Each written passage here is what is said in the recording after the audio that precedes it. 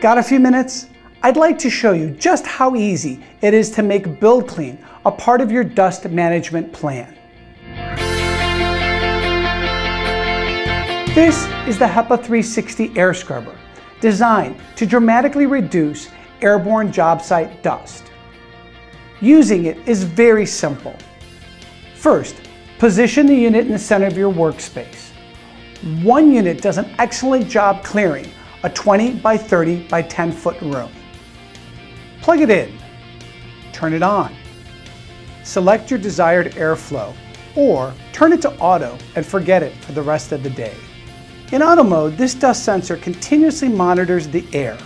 When 15 seconds of dust is detected, the machine will run in high mode until the dust is cleared. Once the speed is selected, the machine will calibrate itself. Then a second test is run to check the cleanliness of the filter. A unique feature of this air scrubber is that you do not have to constantly fool with the filter. As the filters load, the machine increases the RPM so it maintains your desired airflow speed. Plus, it will run in negative pressure or recirculation mode.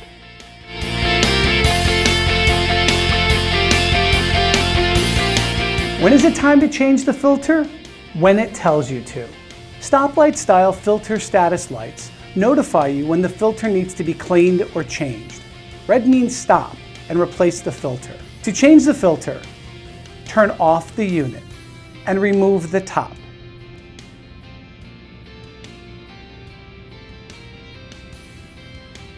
Take the old filter out and put the new one on halfway.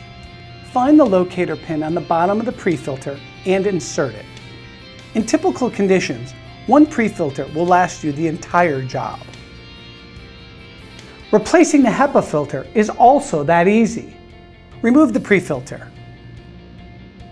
Unscrew the retaining screw. Remove the top plate and replace the filter.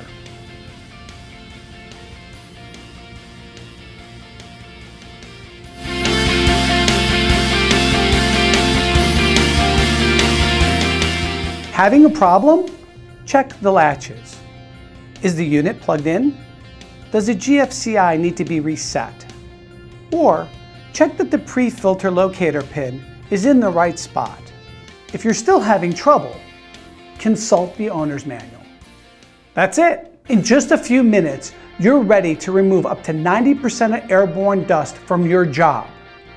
So do the right thing. Build clean every time.